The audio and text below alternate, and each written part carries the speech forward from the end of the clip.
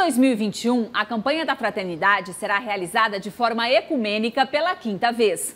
Os regionais e as dioceses já realizam um processo de construção e vivência por todo o país, com formações e reflexões. Fraternidade, diálogo, compromisso de amor será o tema da campanha da fraternidade do ano que vem. E o lema: Cristo é a nossa paz. Do que era dividido, fez uma unidade.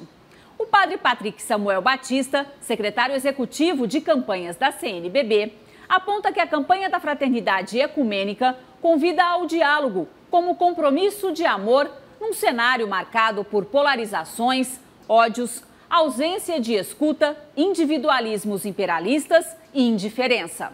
Somos convidados a recuperar nossa capacidade de relação, tolerância e amorosidade. A campanha da Fraternidade 2021 quer também fortalecer e celebrar a convivência ecumênica e interreligiosa. Andréia Bonatelli para a Rede Vida de Televisão.